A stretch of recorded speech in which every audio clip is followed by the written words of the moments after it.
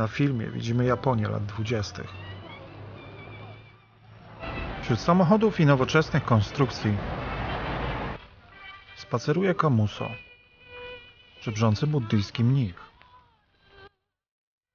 Jego nakrycie głowy, tengaj, zasłania twarz, symbolizując brak określonego ja. Inni Japończycy, próbując naśladować Zachód, noszą europejskie kapelusze. Tworzą w ten sposób dziwaczny miks mody zachodniej i orientalnej.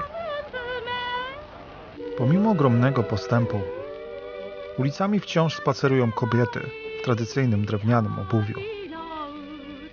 Obuwie getta zapobiegało brudzeniu stóp. Wierzono, że zerwanie paska przyniesie pecha.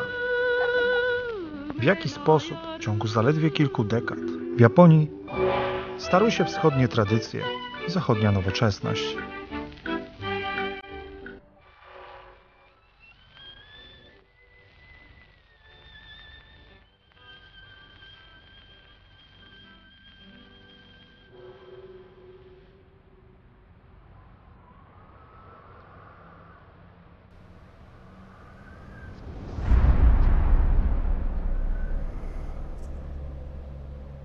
Jeszcze w połowie XIX wieku Japonia była przeroźliwie zacofana, głęboko tkwiła w systemie feudalnym. W 1868 nie było w tym kraju kolei, lokomotyw ani telegrafu. 37 lat później, w 1904 roku, Japonia upokorzyła wielką światową potęgą Rosję. Jak z kraju zagrożonego kolonizacją stała się kolonizatorem Azji? Jak dwukrotnie w XX wieku osiągnęła status wielkiego mocarstwa? Jak tego dokonała? Jakich tragedii, jakich konfliktów musiał doświadczyć świat?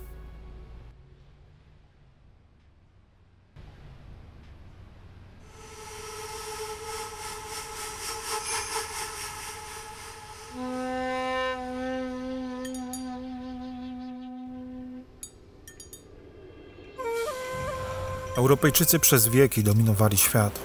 Nieśli swoją religię i towary w najodleglejsze zakątki. Na początku XVII wieku władcy niedawno zjednoczonej Japonii zamknęli granice kraju na świat. Czy mogli w ten sposób uchronić się przed chrześcijaństwem i obcymi wpływami? Twierdzenie, że dopiero Amerykanie próbowali otworzyć Japonię jest błędem. Próbowano wielokrotnie.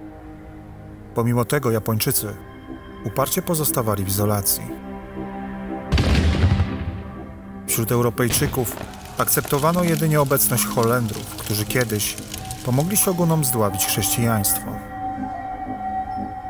Pozwalano im przebywać w zamknięciu na małej, sztucznie usypanej wyspie Dejima.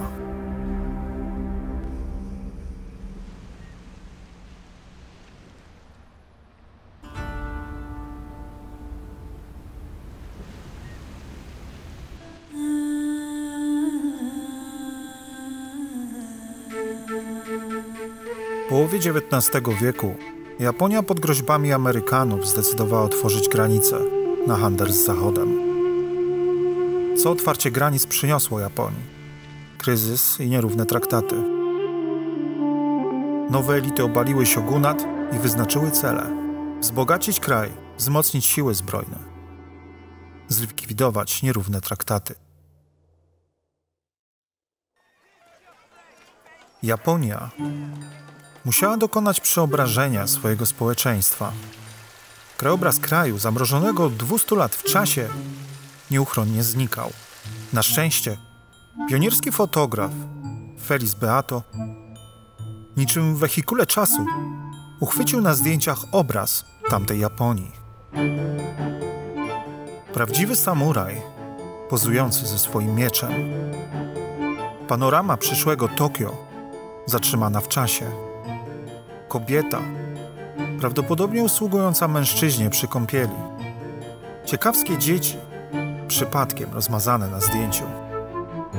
Na fotografiach pojawia się też Nagasaki, które za 77 lat ulegnie zagładzie atomowej. Na wielu zdjęciach, ze względu na długie naświetlanie kliszy, obiektyw uchwycił jedynie rozmazanych ludzi. Mimo tego, bezcenne w skali historii zdjęcia, niczym wehikuł czasu, zapisały świat, którego już nie ma.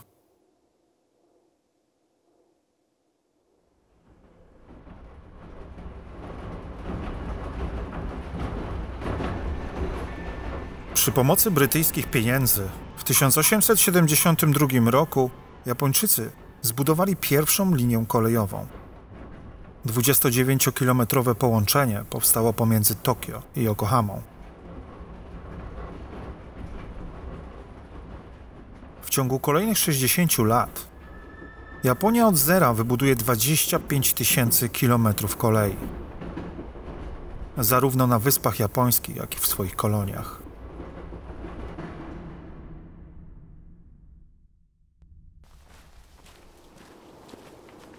System feudalny został zlikwidowany. Ród Tokugałów, który rządził w imieniu cesarza, został wysłany na hojną emeryturę. Rodzina Tokugałów istnieje do dziś. Japończycy chcieli przeprowadzić trudne reformy. W ciągu 30 lat stali się jednym z najnowocześniejszych krajów świata.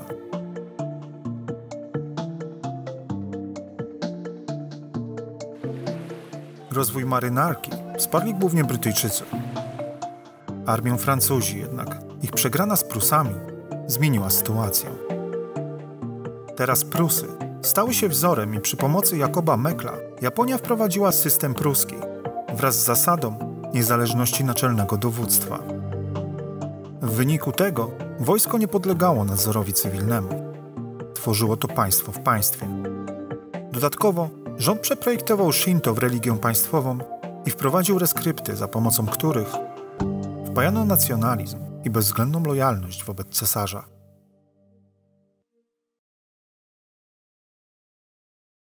Czy Japończykom zagrażał imperializm? Japonia sama szybko zamieniła się w imperialistę. Najpierw anektowała Ryukyu i interweniowała na Formozie. Kolejno narzuciła własne niesprawiedliwe traktaty Korei. Konflikt interesów na Półwyspie Koreańskim doprowadził do wojny z Chinami.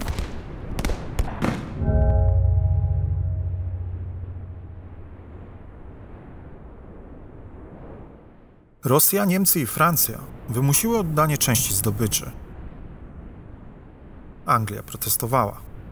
Mimo to potrójna interwencja potwierdziła, że poniżeni Japończycy wciąż nie są traktowani na równi. Widzimy autentyczne nagranie Ainów z wyspy Hokkaido. Ainowie rytualnie przytrzymywali niedźwiedzie. Więzili je, by następnie je zabić i spożyć na surowo. Wierzyli, że w ten sposób duch niedźwiedzia zostanie uwolniony i odrodzi się na nowo. Japończycy nie traktowali ich jako równych sobie, czasami nawet jako ludzi. Obecnie już mniej niż 20 osób mówi w ich rodzimym języku. W 1894 roku Anglia jako pierwsza poluźniła nierówne traktaty z Japonią. Pięć lat później Japonia dołączyła do międzynarodowej koalicji wojskowej.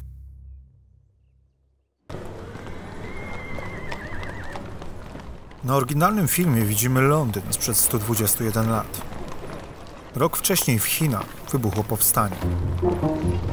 Wieści o brutalnym buncie tajnego stowarzyszenia, które chce wyrzucić obcych z Chin, poruszyły Londyńczyków. Oglądamy film wyprodukowany, by pokazać brutalność bokserów. Nieuczciwi dziennikarze produkowali takie filmy, by zarobić na sensacji. Wstrząśnięta opinia publiczna domagała się interwencji. Osiem mocarstw wysłało wojska do Chin, by zdławić powstanie bokserów. Co zrobiła Japonia? Tokio wysłało aż 20 tysięcy żołnierzy, połowę wszystkich sił. Wielka Brytania była pod wrażeniem. Widzimy bardzo wyjątkowe nagranie. Przedstawia ono armię brytyjską w styczniu 1900 roku. Co dzieje się na filmie? Pobici Brytyjczycy zbierają siły krótko po porażce z rąk burskich. bitwa o Spion Kop była straszliwą klęską. Utrzymanie wojsk na całym świecie wyczerpało finanse imperium. Na białym koniu widzimy lorda Kitchenera. Tylko lord otrzymuje pozdrowienie. Tak wyglądała brytyjska klasowość. Tacy ludzie jak Kitchener twierdzili, że koszta utrzymania imperium można przenieść na sojuszników. Anglia i Rosja od lat rywalizowały w Azji. Brytyjczycy desperacko chcieli utrzymać Indie i rynki dalekowschodnie. Rosja spoglądała w kierunku Mandżurii i Korei, by zdobyć niezamarzające porty morskie. Japonia również postrzegała Koreę i Mandżurię jako kluczowe dla swojego rozwoju. Silna Rosja stała na drodze tych planów. Z czego cieszą się Japończycy? Świętują podpisanie sojuszu z Anglią. Japończycy liczyli na to, że sojusz z poważnym mocarstwem podniesie ich rangę międzynarodową i wzmocni kraj ekonomicznie. Zaledwie dwa lata później japońskie interesy w Korei i Mandżurii wysłały kraj na kurs kolizyjny z Rosją. Rosja usadowiła się blisko Indii. Poprzez zabezpieczenie sojusznicze z Japonią, nikt w Rosji nie poprze inwazji na Indię. Zaledwie dwa lata później wybuchła wojna rosyjsko-japońska. Japonia rozgromiła nieprzygotowaną Rosję. Na filmie widzimy wojska generała Maresuke Nogi oblegające Port Arthur. Nogi okrzyknięto bohaterem narodowym. Roosevelt pisał: Rosyjska bańka pękła. Nikt nie spodziewał się, że będzie to rzeź, a nie walka. Po eliminacji dwóch z trzech flot Imperium Rosyjskiego pod Tsushimą, świat nie wierzył własnym oczom. Pierwszy raz w nowoczesnej historii mocarstwo azjatyckie rozgromiło Europejczyków.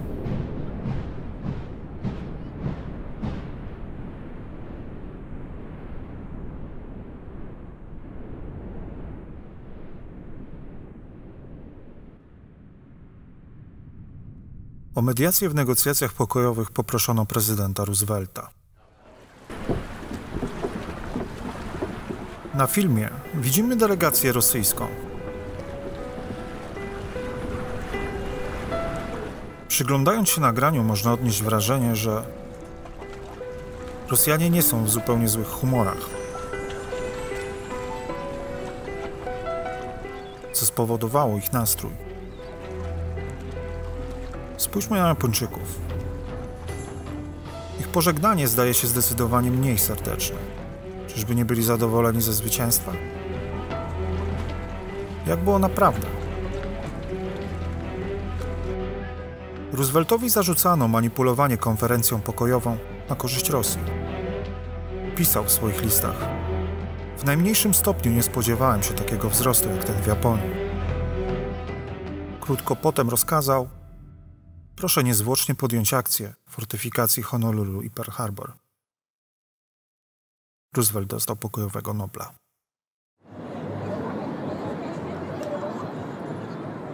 W Japonii traktat spowodował wzburzenie.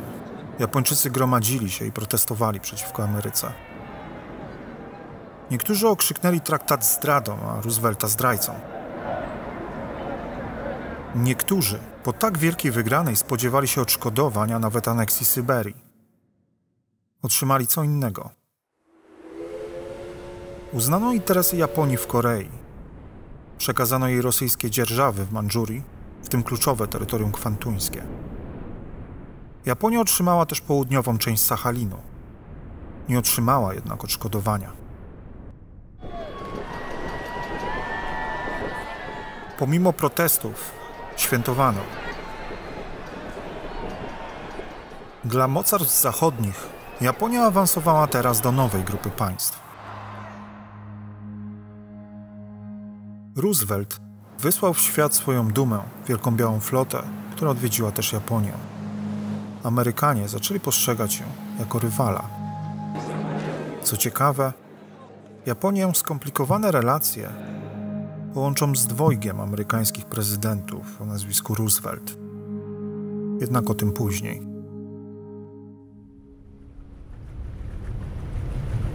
Do końca XIX wieku Japonia zrealizowała slogan Fukoku Kyohei bogaty kraj, silne wojsko. Stworzyła siłę, która pozwoliła jej pokonać Chiny i Rosję. Teraz skupiła swoją uwagę na Korei.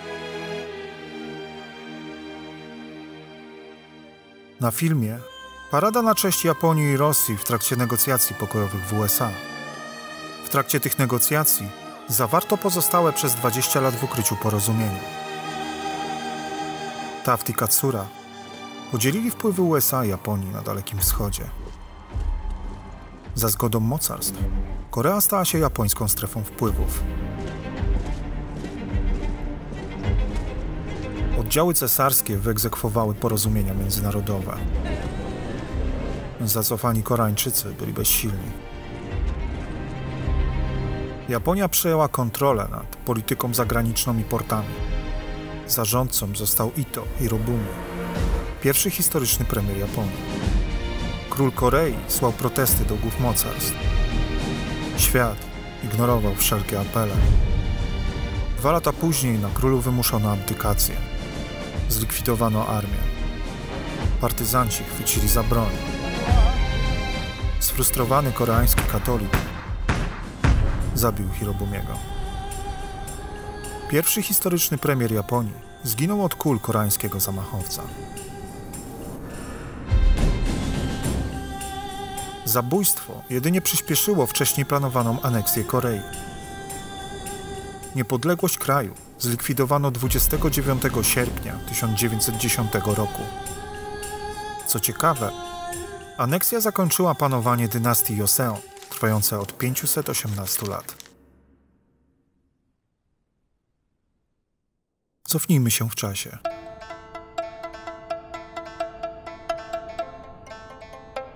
Na ekranie widzimy najstarszy zachowany japoński film fabularny Momijigari. Patrzymy teraz na męskiego aktora. W teatrze kabuki to mężczyzna tradycyjnie wciela się w rolę kobiety. Nagrano to 122 lata temu. 114 lat temu Japończycy stworzyli animację. 50 klatek namalowane na taśmie celuloidowej przedstawia chłopca piszącego po chińsku ruchome obrazy. Ten film odkryto dopiero 16 lat temu. 100 lat temu Japonia intrygowała świat. Równocześnie go oburzała.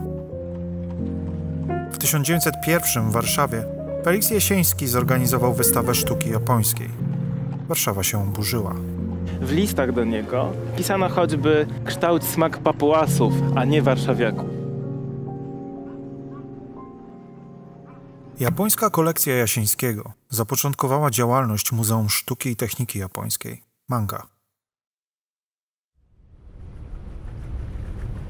Japonia została uznana za mocarstwo, a Japończycy odebrali to jako prawo do posiadania stref wpływów. Społeczeństwo japońskie spoglądało na północno-wschodnią Azję. W tamtych czasach ludzie uznawali imperializm za naturalną kolej rzeczy – Zgodnie z naturą, silniejszy podporządkowywał sobie słabszych. Takiej lekcji od kilku dekad udzielało Japonii mocarstwo. I jak dotąd Japonia była wzorowym uczniem. Pozornie dobre kontakty Amerykanów z Japonią wyglądały inaczej w prywatnej korespondencji prezydenta. Japonia nienawidzi zachodniej cywilizacji a im bardziej edukujesz japońskie dziecko, tym dalej od siebie odpychasz. Tajne. Pozyskałem dziś informację, która może mieć wartość dla prezydenta. Japonia proponuje walkę z USA i szykuje się do zmagań. Silna Japonia zagrażała amerykańskim interesom w Chinach. Roosevelt pisał: Japonia żywotnie interesuje się Chinami jej mądrzejsi mężowie staną, jeśli możliwe powstrzymają ją. od wplątania się w wojnę z nami.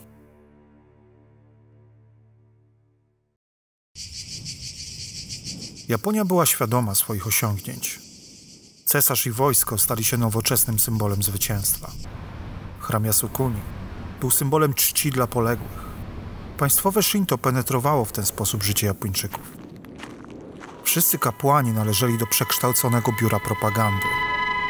Wszyscy Japończycy musieli rejestrować się w lokalnych chramach.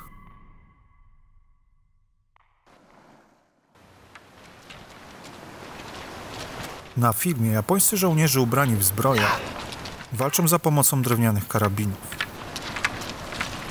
Jest to trening Jukendo, sztuki walki bagnetem. Wzorowano go na samurajskich technikach walki włócznią. Żołnierzom wpajano, że są następcami samurajów, spadkobiercami Bushido. Porzucając francuskie koncepcje pod koniec XIX wieku, Japonia przyjęła wzór pruski. Jak wspomniałem wcześniej, ustalono, że najważniejsze dowództwa wojskowe są niezależne. Oprócz tego jednak ministrami wojny w rządzie państwowym mogli zostać jedynie wojskowi. Dzięki temu wojsko mogło szantażować rząd. Pogłębiało to rywalizację różnych frakcji w siłach zbrojnych, jednak o tym później.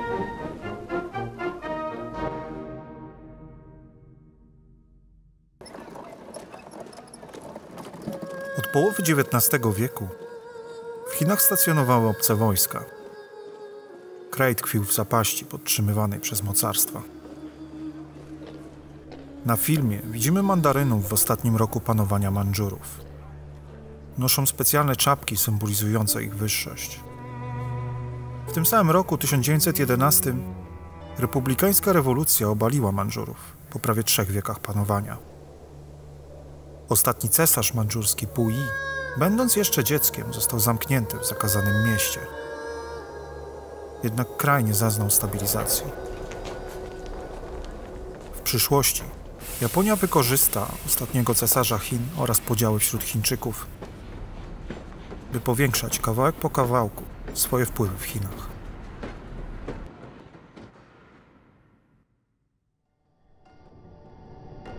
Kiedy Japonia, jak zdawało się, została oswobodzona z ciężaru nierównych traktatów, jakby kończąc pewien rozdział, zakończyła się epoka. Serce cesarza przestało bić 12 lipca, dokładnie 43 minuty po północy. A kiedy salwy żałobne grzmiały, generał Maresuke Nogi popełnił starodawne dziunsi. Rytualnie odebrał sobie życie po śmierci swojego pana. Niektóre gazety potępiły czyn, a wrogowie szargali jego pamięć, wykorzystując fakt, że przed samobójstwem zatkał sobie odbyt by uniknąć pośmiertnego wycieku fekaliów.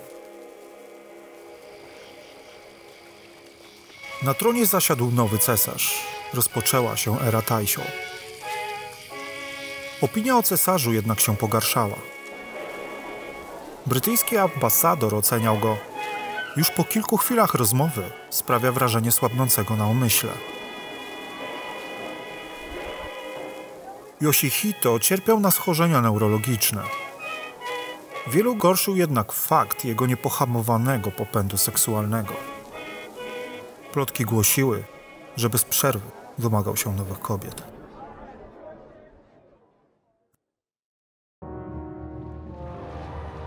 Wybuch wojny w Europie zastał Japonię związaną z sojuszem z Brytyjczykami.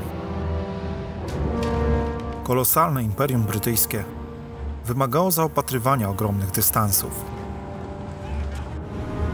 Sojusz z Anglią nie zobowiązywał jednak Japonii do pomocy. Brytyjczycy nie nalegali. W końcu jednak dali Japończykom pretekst. Flota japońska powinna, jeśli to możliwe, wytropić i zniszczyć uzbrojone niemieckie krążowniki handlowe. Japończycy szybko zażądali od Niemców posiadłości w Chinach. Nie oglądając się na sojuszników, wysłali ultimatum. Tydzień później wypowiedzieli wojnę. W taki sposób Japonia dała dawnym nauczycielom lekcję realpolitik. Japończycy obrali za cel niemieckie posiadłości w Chinach. Co ciekawe, podczas oblężenia Tsingtao marynarka japońska jako pierwsza w historii wykonała udany atak powietrzny przeprowadzony z morza. Świat obserwował.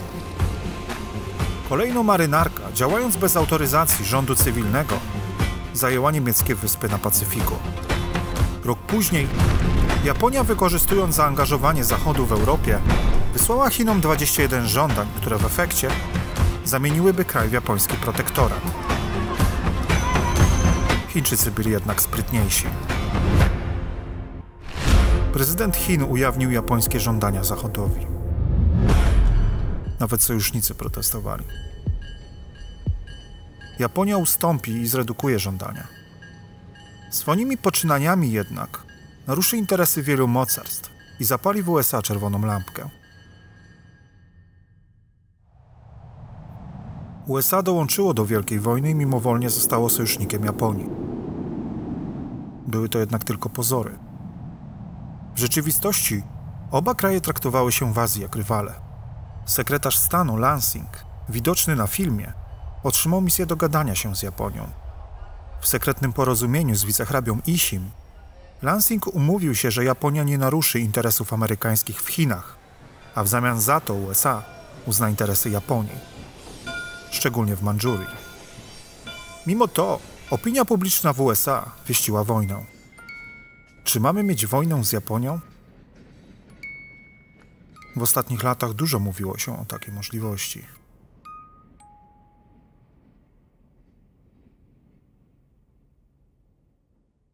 Wojna w Europie w końcu się zakończyła.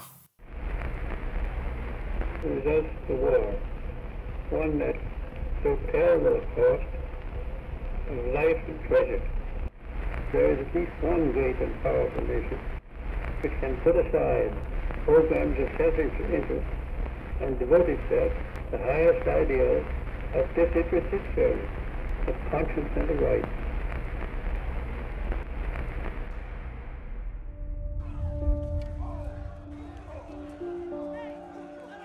Horror wojny zmienił nastroje ludzi na Zachodzie. Karykatury przedstawiały kapitalistów, w których interesie zginęły miliony.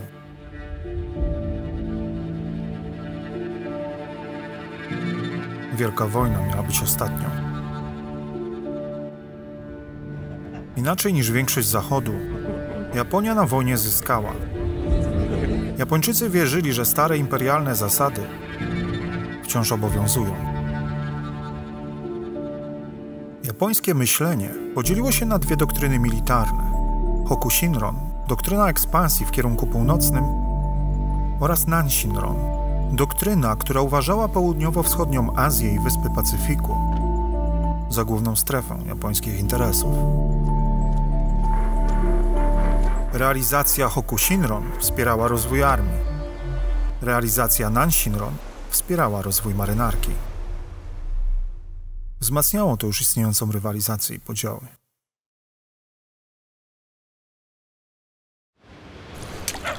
Na filmie Syberyjska wieśniaczka robi pranie.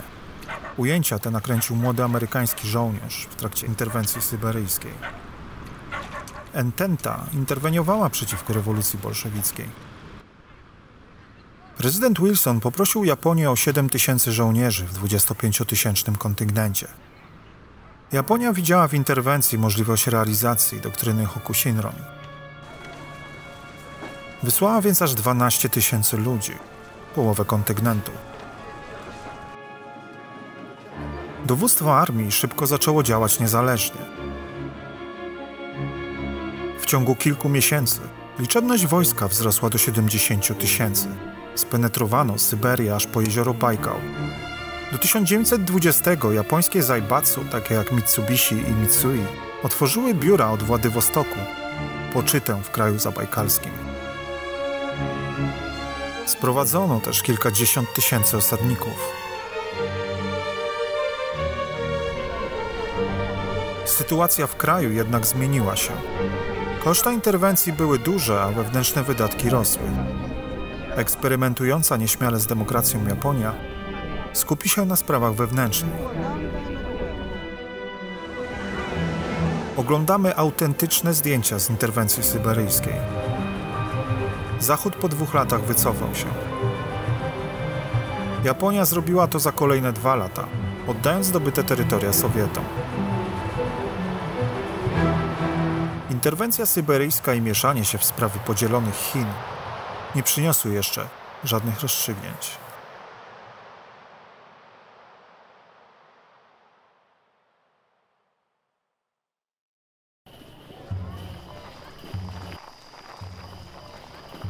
Oglądamy teraz autentyczny film z około 1920 roku. Jest to Jidai Matsuri, tradycyjny festiwal organizowany w Japonii od dekad. W paradzie biorą udział potomkowie samurajów. Noszą na sobie zbroję i broń przodków. Zaledwie 60 lat wcześniej Japończycy żyli jeszcze w kraju feudalnym. Postrzegali świat poprzez obce dla wielu na zachodzie pojęcie kokutai. Kokutai można tłumaczyć jako ciało narodu, jego esencję. Oznaczało to przynależność do społeczeństwa, które jest przedłużeniem rodziny cesarskiej. Cesarz był ojcem, a Japończycy jego dziećmi. Gwarancją trwania narodu była nieprzerwana linia cesarzy.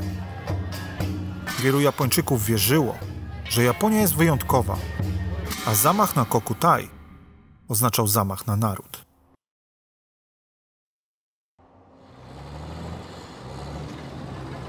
Wojna sprawiła, że europejski handel w Azji podupadł. Przyniosło to dobrobyt. Upowszechniły się nowinki. Nie każdy nadążał. Młodzi jednak eksperymentowali.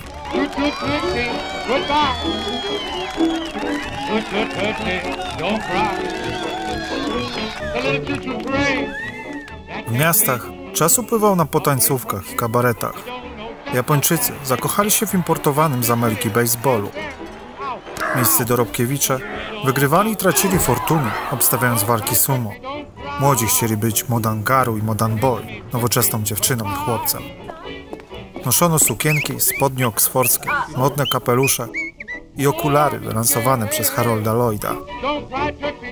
Erotyzm, groteska i nonsens eksplodowały. Na wsi jednak życie toczyło się inaczej. Wieś japońska tkwiła w wiekowym zacofaniu. Pokolenia mozolnie uprawiały ziemię, pracowały w kopalniach i służyły w wojsku. To oni na swoich barkach, swoją krwią i potem dźwigali sukces Japonii.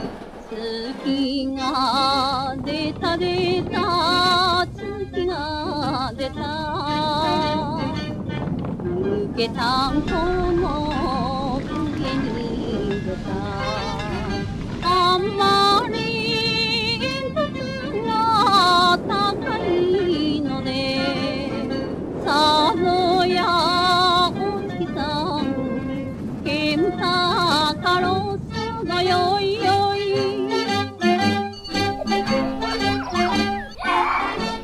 Proste rozrywki i pełny brzuch były wszystkim, czego potrzebowali niektórzy.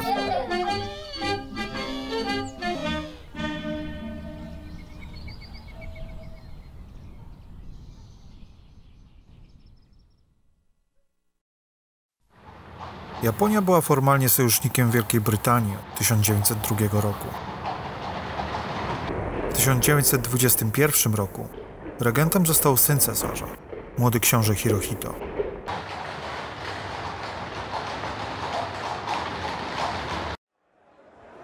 Stara elita dyscyplinowała następcę tronu, by sprawnie przejął funkcję cierpiącego umysłowo od lat cesarza. W tym samym roku książę odbył podróż do Europy.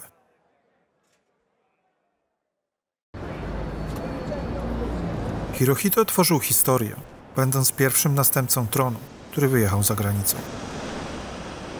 Dla Japończyków był to symbol nowej mocarstwowej Japonii. Dla Hirohito była to ucieczka. Do czasów Anglii moje dotychczasowe życie przypominało życie ptaka w klatce. Wspominał 50 lat później. Wcześniej wciąż jeszcze postrzegali Imperium Brytyjskie jako największe mocarstwo.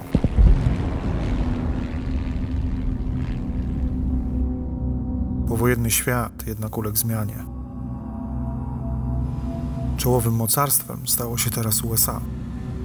Tamtejsza publika popierała hasło końca wszystkich wojen. Na czele z sekretarzem Hodgesem, widocznym na filmie, zainicjowano przedsięwzięcia pokojowe, które mniej oficjalnie gwarantowały USA dominującą pozycję w nowym układzie sił. Na zachodzie Japonię oskarżano, że wykorzystała sojusz z Anglią jako pretekst do podbojów. Niemcy i Rosja osłabione tymczasowo wypadły z gry. Japonia stała się trzecim mocarstwem morskim. Ameryka i Anglia, zaskoczone tym faktem, szukały zabezpieczeń.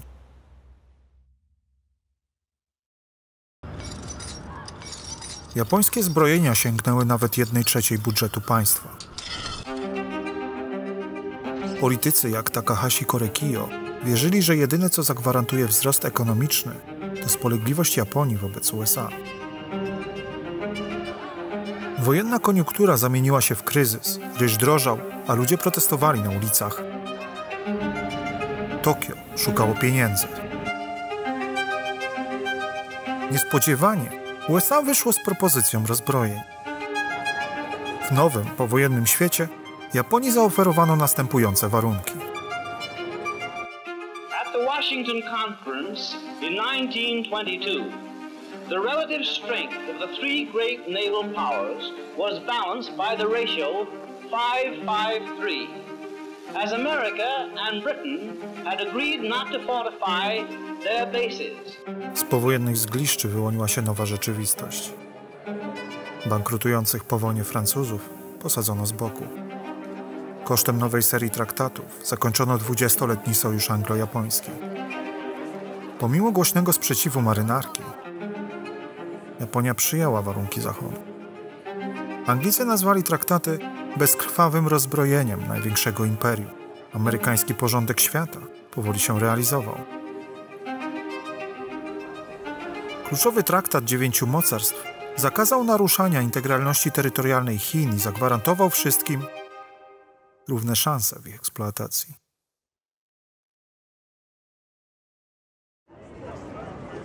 Jeszcze w Wersalu Japończycy wnioskowali o zakazanie dyskryminacji innych ras i religii. Większość głosowała na tak. Mimo to Wilson i Anglicy wniosek anulowali. Tymczasem w USA przegłosowano ustawę antyimigracyjną wykluczającą Azjatów. Kwestie rasowe i imigracyjne będą ciążyć na relacjach japońsko-amerykańskich.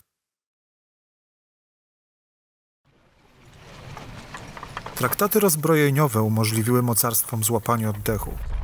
Japonia nie miała tej okazji.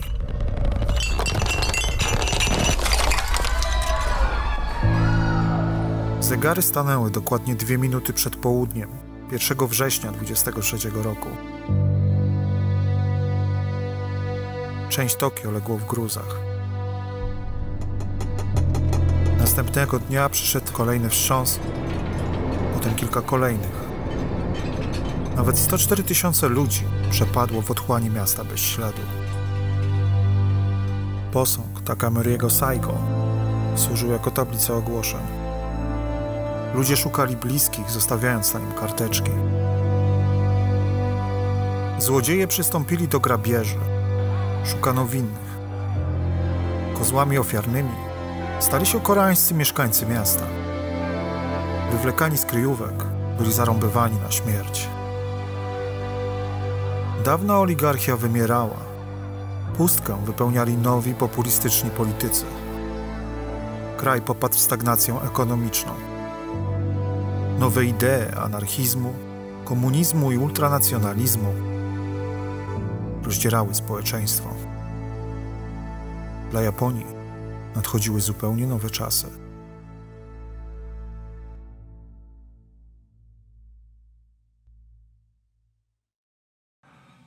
W 25 roku pojawiło się radio.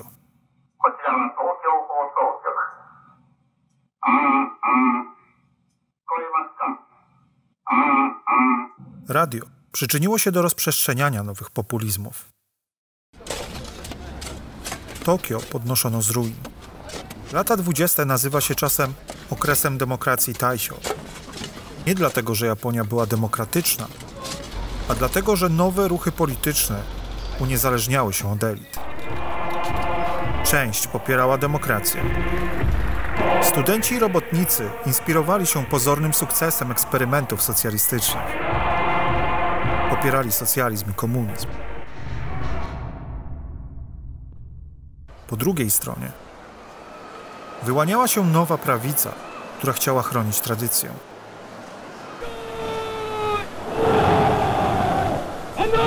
Kluczowa była ochrona kokutai, esencji narodu japońskiego.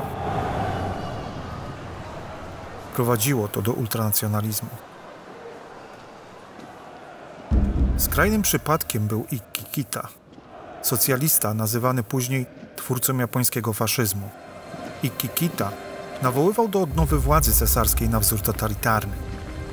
Cywilne elity japońskie nie były jednak aż tak radykalne. Dzieła Kity zostały ocenzurowane. Jednak nie tylko one. Elity japońskie, wystraszone nowymi siłami politycznymi, zalegalizowały powszechne prawo wyborcze dla mężczyzn. Jednak zaraz w tym samym roku głosami tych samych polityków ustanowiono prawa tłumiące wolność. Ktokolwiek stworzył związek mający na celu zmianę Kokutai lub system prywatnej własności, podlega karze pozbawienia wolności, włączając lub wyłączając ciężkie roboty. Powstała tak zwana policja myśli, ścigająca przestępców myślowych. Celem byli głównie komuniści, bo w oczach elit stwarzali szczególne zagrożenie. W taki sposób rodząca się japońska demokracja umarła trakcie swoich narodzin.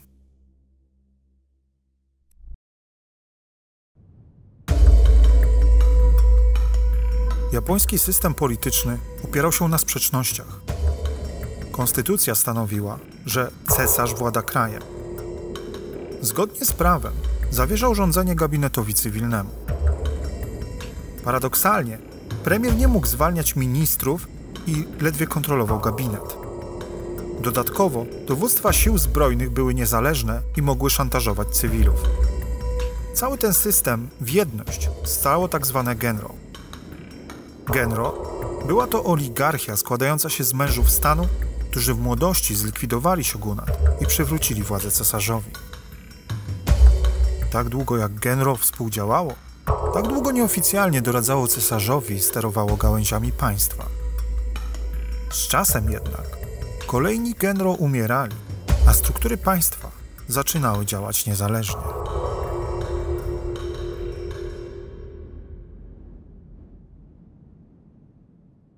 W tych okolicznościach stary cesarz umarł. Nowym cesarzem został regent, widoczny na filmie Hirohito.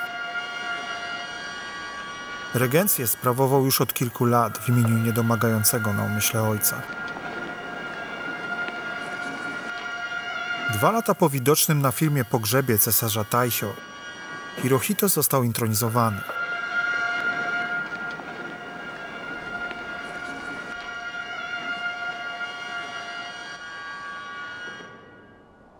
Ceremonię intronizacji opóźniono dwa lata.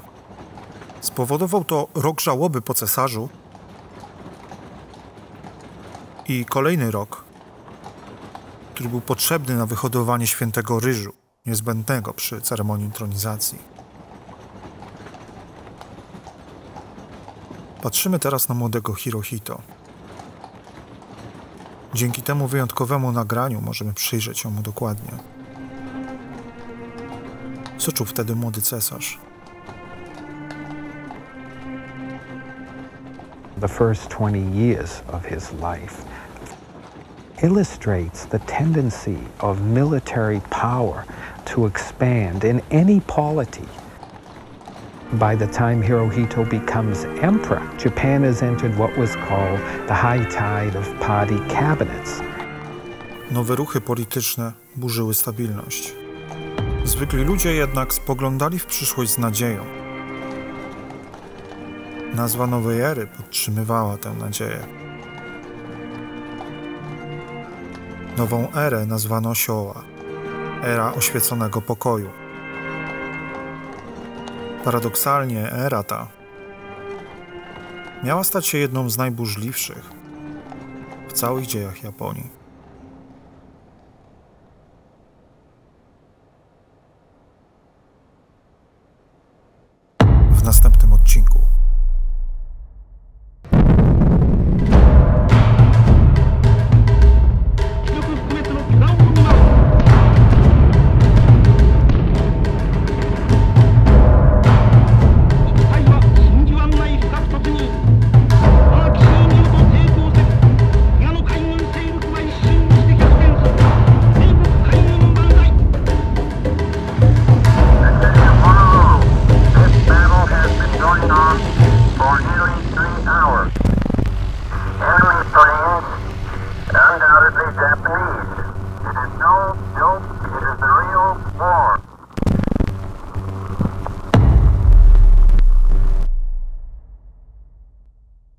Uważasz, że moja praca zasługuje na wsparcie, wesprzyj mnie.